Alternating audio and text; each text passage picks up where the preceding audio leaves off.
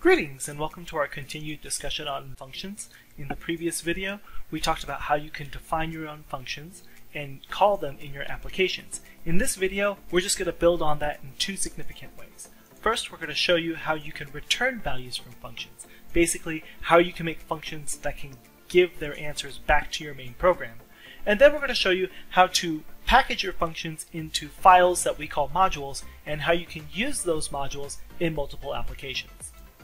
To get us started, why don't we go ahead and review the previous lesson. Let's just create a function that calculates the area of a triangle. So I happen to have Thonny up and running here. what I'm going to do is go ahead and just make my function. So the keyword for defining your own function is define.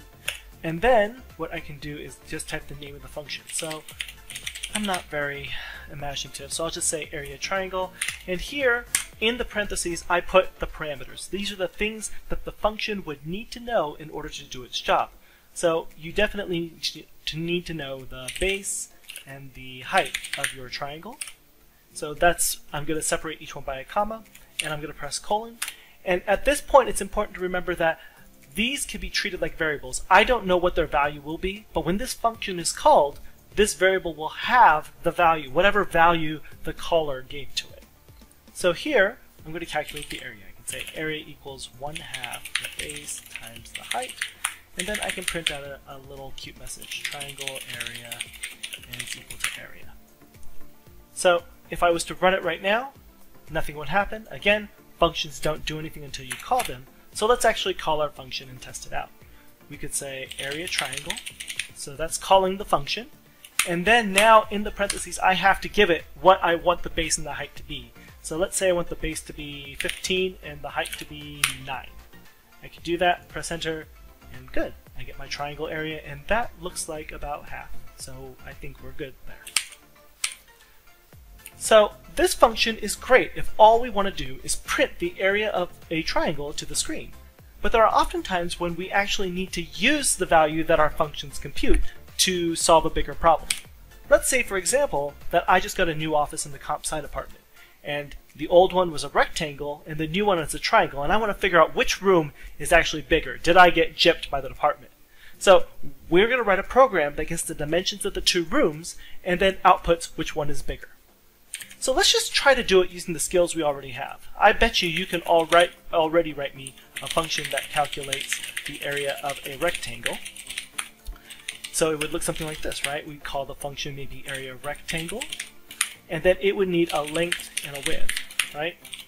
And then the area would just be the length times the width, and then we would just print rectangle, a nice message, area, area. So now I can actually test this function too, right? I can say area rectangle, and here I'm just going to say 10 by 10. That should be 100, right? So if I press play, exactly what I expect. That's great. So then, if we were to actually solve the problem, we would want to, for my logic design, get the dimensions of the rectangular room. Don't judge me if I misspell this. The, and then we're going to also get the dimensions of the triangular room. And now, we're going to compute their areas. The areas, and then determine which one is bigger. So these are the main steps of our program. So now let's actually try to do that. You should be able to get the dimensions of the rectangular room. Let's just call it, um, I'll make a new variable. I'm going to call it uh, old room length. And then it's going to be equal to float input. And then old room uh, width. And that's going to be equal to that. Now I'm going to make two more variables. New room. Um, base and then new room height. So my variable names might be a little weird, but I'm just trying to map it to ones. This is the rectangular room. This is the triangular room. All right. Now we can compute the areas, right? We can just use our functions. So to get the area of the rectangular room, I can just say area rectangle is my old room length and my old room width. Okay, so that the area of my new room is area triangle of the new room base, new room height. An important thing to note here is that notice how the variable names don't match. So when I called area rectangle, I'm not required to give it a variable called length. I just have to give it a value for length. So the value for the length of the room is stored in this variable in my program. So I can give it this. I could have also have done like just given it a number had I known the number off the top of my head. All right. So now when I press play, I can go ahead and say, let's say my old room was a 10 by 10, and my new room was a 15 by 9. Uh, 15 by 10. All right. Which one is bigger? Well, when I look at this right here, I'm saying, oh, it's very clear. I can look at it and say 100 is bigger than 75. But what if I want the program to do that? There's actually no way to do it right now because right now, all your functions do is print the area to the screen. So your program never has a, an opportunity to look at that value and do something with the result. So that brings us to today's lesson, which is the return statement. In the return statement, we are basically giving functions a way to give their answer back to the program. Give it back to the, the part of the program that called this function. So the key word here is this return area section. And to use it, basically what you do is you call the function, but now you also have this variable. So this function call is the same thing we've been practicing since the previous lessons.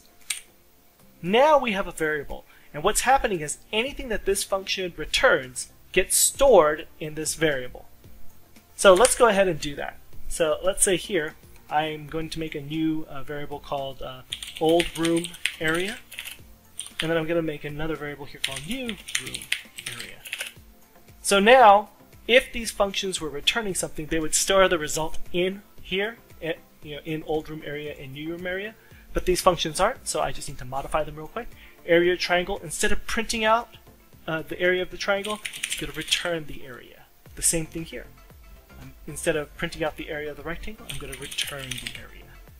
So now, when I press play, and I do the same thing, 10, 10, 15, 10, you don't see anything here, but if I go to View and Variables, you will see that I actually have the old room area uh, is 100 and the new room area is 75. So now they're variables, and now I can write code that compares their values. So for example, I could say if the old room area is bigger than the new room area, I could say print don't move, it's a trap. Otherwise, I could print uh, nice, a bigger. So again, if I press play, and I test, my old 10 by 10 office with my new 15 by 10. Oh no, the department actually didn't give me something, they just gave me a corner room. So, thanks. No, that's fine. They didn't really do that. The last thing we're going to talk about today's lesson is the idea of modules. So you can imagine that a function such as uh, that calculates the area of a rectangle and a triangle might be useful in more than just this application. And it would be a shame if I had to keep writing this function every time or copy it and paste it every single time I wanted to use it. So what I can do is I can basically store these functions in another file. So it's really as easy as creating a new file in Thonny, copying the functions over there, so we'll get rid of them here, and I'm going to name this function something descriptive. So I'll call it area functions. Alright, and then I will store it in the same folder as my code. My code's called demo. So now I have this file and this file are in the same directory on my computer. So what I can do now, this is now a module. This contains a bunch of functions, and if I ever want to use them, this is the same way as we do import math. I just say import area functions. And anytime I want to use that function, remember how you had to do like math.sine, math.cosine? It's the same thing. If I want to use area of rectangle, which is in this file now, right? It's right here. I just say area functions dot area rectangle. If I want area triangle, area functions dot area triangle. So now I have the ability, anytime I ask you in this course to calculate the area of something or do something with the area, now you have this file that has these functions and you can use them as many programs as you want. And you can see the advantage, right? This code I know works, therefore every time I use it in another application, I don't have to worry about that part being the part that's broken. So it makes my programs not only a little bit shorter, but it also makes uh, reduces the chances of me writing code that has some accidental mistake for one re reason or the other. And again, if I just do it, the same program, because here I'm calling the function that's stored in this module. You can see it again here. Here's another example. Um, I wrote a package which you can download off of Canvas that has uh, called bit conversion. It has functions for converting between various units, terabytes to megabytes, terabytes to bits, that sort of thing. And here, the key thing is that we assume that this file is in the same folder as your program, and then you can go ahead and when you call it, you just put the, the name of the module or the name of your file dot the function you want from that file. That's it. That's this entire lesson. Now you know everything there is to know about functions. Um, right now it's just really a matter of practice, getting used to how to create functions, how to return values, and how to design your functions so that they're reusable in multiple applications. This is an art, not necessarily a pure skill, so it's something that the more and more you code, the better you'll get at. So thanks for watching, keep practicing, let us know if you need help. So, and again, keep at it. You can do it. Take care. Bye.